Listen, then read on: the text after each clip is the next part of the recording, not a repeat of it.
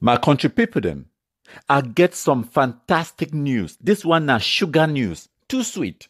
In fact, after when I listen to this news, maybe when I go get diabetes. And if when I get diabetes, maybe when I know sue me. Anyways, so I be talk about the latest update for Tapang Ivory lawsuit. Say we still wait for that court. Make it send Tapang Ivory summons. Guess what? They don't send Tapang You summons. And I why I want to make this short video today for explain when I wait to go happen next and for talk about the summons. So the summons where the court is sending for Tapang Ivo, it be very short and very sweet. Now only two pages.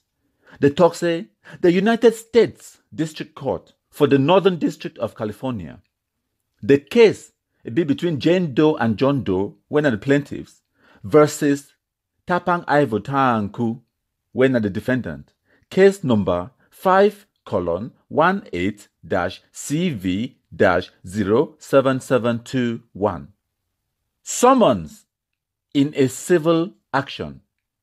Then the get Tapang Ivo Tanku address 5055 Dent Avenue, apartment number 97, San Jose, California. Then the summons letter it continue. It talks say a lawsuit has been filed against you. Within 21 days after service of this summons on you, you must serve on the plaintiff an answer to the attached complaint or a motion under the rules of the civil procedure. The answer or the motion must be served on the plaintiff's attorney, and then they give Barrister Nsahlai law firm and the address. And then they talk say, if you fail to respond, judgment by default will be entered against you for the relief demanded in the complaint. You also must file your answer or motion with the court. And then the, the, the court clerk is sign them. It talks your name now, Suzanne Sung, is sign them, and then dated yesterday, the 31st of January 2019.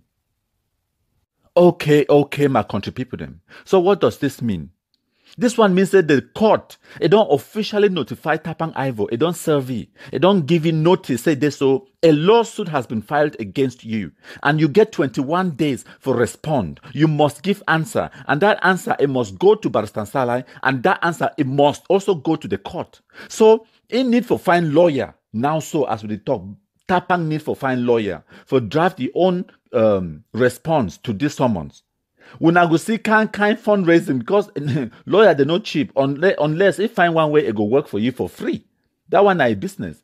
But it go find lawyer where it go draft your own answer for talk say yes i plead guilty or no i plead not guilty so if he plead not guilty and then the court now it go move forward for find day put day where they go then come together now they, they start the discovery period. And then after the discovery period they go sit down and, and convene a jury.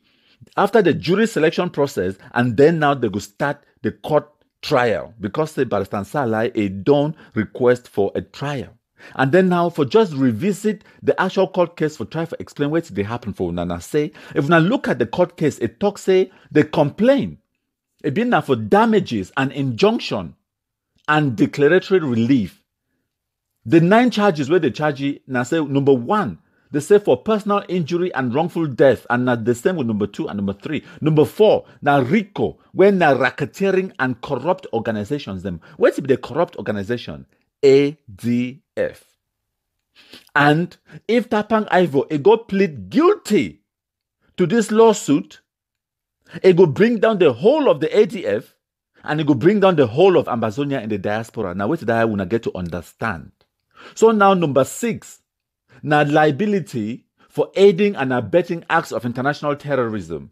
Number seven, liability for conspiring in the furtherance of acts of international terrorism. Number eight, now provision of material support to terrorists in the violation of U.S. Criminal Code 2339 Alpha. Number nine, negligent infliction of emotional distress. And as I don't talk, this court case is the demand for a jury trial.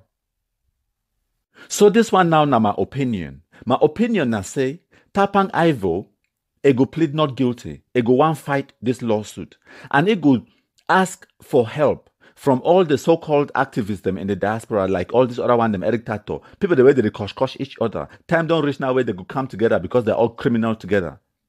They could come together now for raise money for give Tapang Ivo me go defend itself because they know I'm saying this. So if they lose this this uh, law, lawsuit, it will bring down the whole of Ambazonians in the diaspora. Because if you look at the lawsuit, it talks say providing material support to terrorists in violation of US Criminal Code 2339 Alpha.